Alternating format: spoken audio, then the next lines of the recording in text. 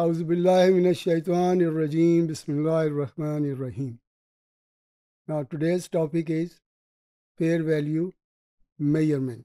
First of all, objective and scope. Learning outcome students will be able to understand what is meant by the term fair value. Able to measure fair value if it is most readily not readily available learn how to incorporate the impact of fair value change and how to calculate and present it in the financial statement. Now, the user to understand valuation techniques input how valuation is done. The understand to understand the effect of fair value on P&L or other comprehensive income. Fair value has are different meanings depending on the context and use. Fair value is focused on assumptions of the marketplace and, and is not entity specific. It is therefore take into account any assumptions about risk. Now let me explain you a few things here. That uh, fair value standard itself is a standard is not a standalone standard because it is going to be used in many other standards and since it is going to be widely used, that's why they need that it should be very, very clear that how to work out the fair value. Now, the other thing is fair value not the entity specific. entity की अपनी जो determination है वो नहीं है it should be market value आपने market से उसकी वैल्यू को डिटरमिन करना है कि मार्केट में उसकी वैल्यू क्या है that will be the fair value and not entity specific and for that matter we need to take a lot of assumptions because in the market, when you go into the market, there is risk involved. So we have to consider all those factors which involve in the market determination of pricing. So first of all, the definition. The whole standard is basically based on this definition and the word we use in this definition.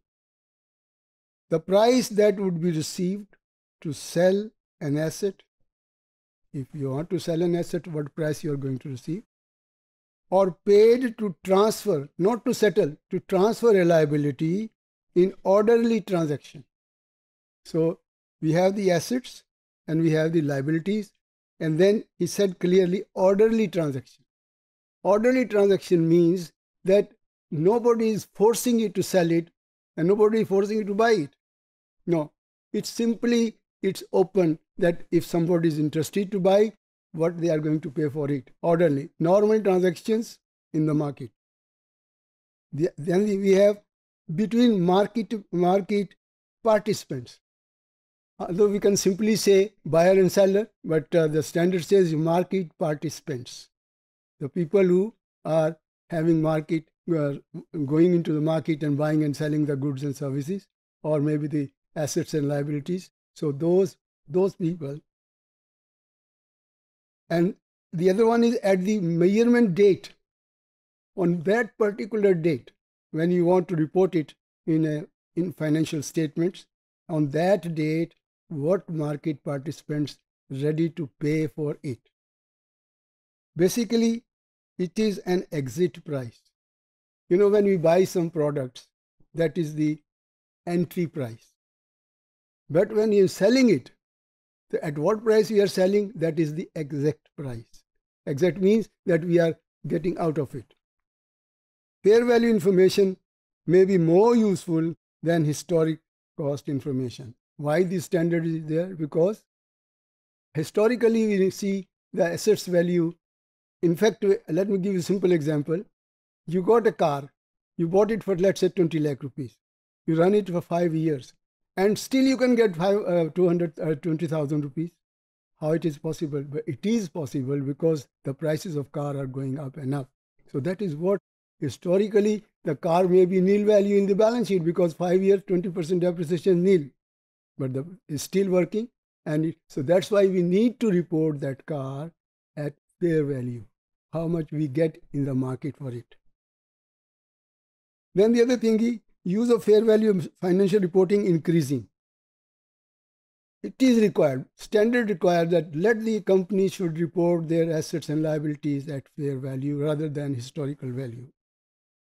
An orderly transaction is one that assumes exposure to the market for a period before the date of measurement to allow for formal market activities, normal market activities, and to ensure that it is not a forced sale. As I said, it's not a forced sale.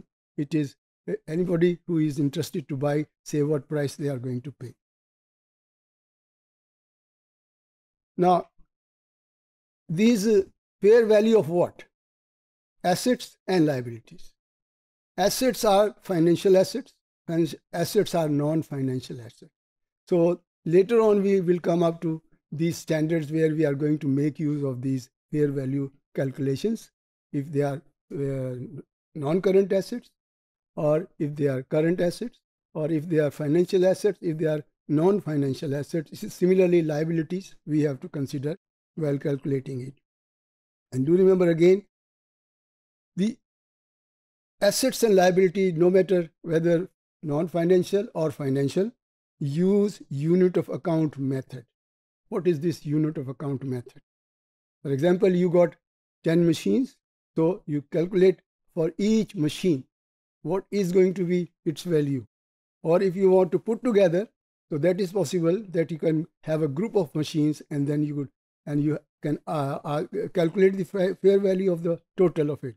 But normally they are numbers. Non-financial assets use highest and best use.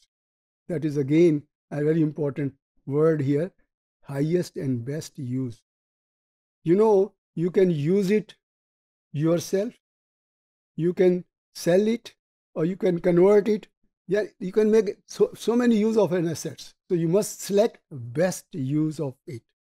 Here best use means economically possible, legally permissible, and financially feasible. That, that will be the most highest uh, use value. Now, the other thing, principal and most advantageous market, market participants. You know these three words principal most advantages and market participant. As i said market participant is a buyer and seller. But so for the principal market the main market which deals in that particular assets and liabilities. In case let's say if you are talking about uh, cotton so mainly cotton textile they have separate market if say you want to garment market then we have here in pakistan in lahore even uh, this uh, Azam cloth market. So the principal market where mostly people are buying and selling, large amount of uh, assets buying and selling.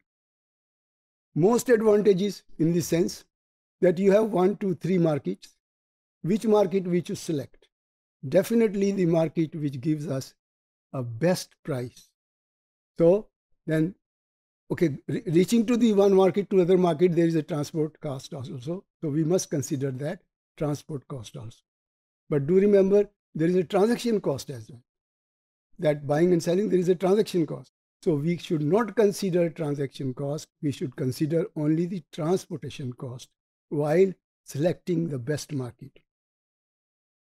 Then independent, the participant should be independent, mean they are not putting, uh, coming together and then uh, buying something. No, they are independent, knowledgeable. They know that this product is available here, here, here, and this price and this price. So he has a knowledge. Then we link to uh, willing to enter. Then they are also interested to buy. They, they, it's not that that they are not interested, but they are interested to buy. Orderly transaction and motivated to transact that they are interested really to buy it, going into that, uh, that transaction. That, then the, as I mentioned earlier, entry price and exit price. Exit price is a fair value, so we should come up with the exit price. The difference between entry price and exit price is the profit or loss. Thank you very much.